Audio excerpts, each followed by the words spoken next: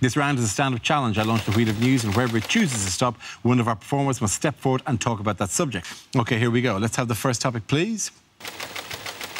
The first subject is politics. Who shall come in on politics? Loyiso. So you guys are all um, worried about your prime ministers and that kind of stuff. I, I'd say calm down. because I'm from South Africa, and the guy who's the head of state now was facing 763 charges before he became the president. that, that's a lot of crime. You have to break the law every day for two years. Because you guys are, I mean, we had a great president, our first democratically elected president, uh, President Nelson Mandela. And I had the opportunity to meet Nelson Mandela. He came up to me. I was, I was a young lad. I think I was about uh, 12 and stuff. And he came up to me and said, uh, uh, young man, uh, would you like me to tell you a joke? I said, yeah, go ahead. It's your country. Uh, knock, knock. I said, who's there?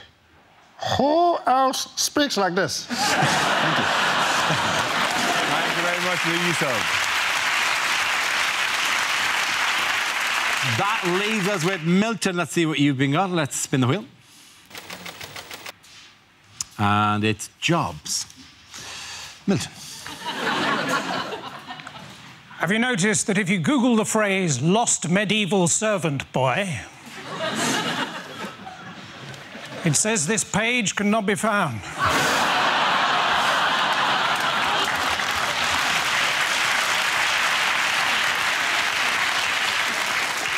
Some of you are going to be doing that tomorrow. I think if I was opening a Pizza Express, I'd open it next to a Vision Express, so we got some of their customers by mistake. I think if I'd unlimited money, I'd hire two private investigators and get them to follow each other.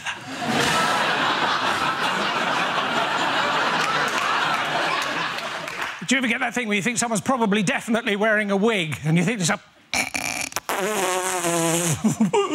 I'm sorry, Your Honour. I'm a bit of a lazy writer, according to my children, QWERTY and F12.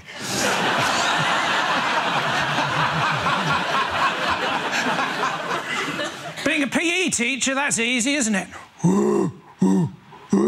Shiny.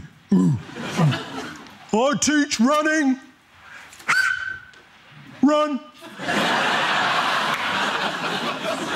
I teach swimming. Swim. And a tiny, tiny little bit of geography. Jog.